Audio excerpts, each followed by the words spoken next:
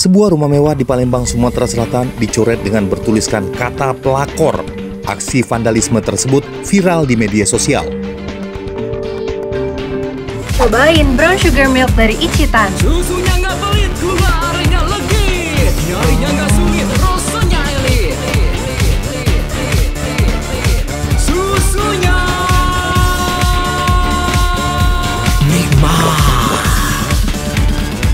Ichitan Brown Sugar Milk Rasa elit, nggak pakai sulit Ichitan Inilah rekaman video yang sempat viral di media sosial. Dalam rekaman video memperlihatkan sebuah rumah mewah berwarna putih dicoret bertuliskan kata-kata pelakor. Aksi vandalisme ini terjadi di kawasan Jalan Jepang, Kecamatan Alang-Alang Lebar pada hari Jumat lalu. Ada sebanyak 15 tulisan pelakor yang terpampang jelas di depan pagar rumah dan dinding tembok. Tidak hanya viral di media sosial, tulisan tersebut membuat tontonan warga yang tak sengaja melintas di lokasi ini. Menurut keterangan Ismairin, Ketua RW 2, sebelum terjadinya aksi coret pelakor, pemilik rumah sempat mengalami keributan.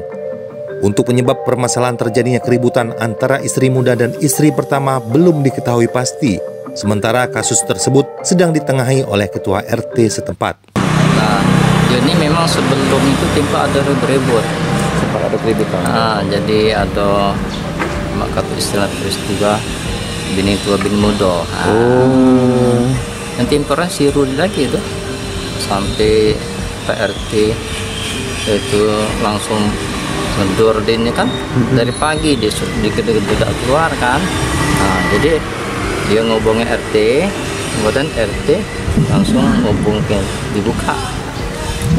Nah, dibuka. Yang yang datang tadi kan rombongan dari katanya ini tua Ini tua. Pak, langkah-langkah apa wae yang sudah kita lakukan Pak setelah ada itu sudah PRT yang lebih jelas Kita sudah komunikasi ke PH ini dengan pihak yang yang apa tuh yang lawannya tadi kan Sementara tulisan vandalisme yang ada di depan halaman rumah kini sudah terhapus dan tidak ada lagi. Dari Palembang, Sumatera Selatan, Tim Liputan Palembang Baru TV mengabarkan.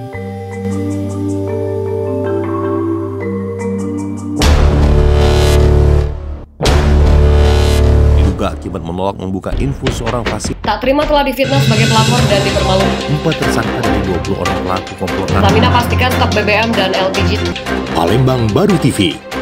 Kami Lukas, aktual, independen, dan terpercaya.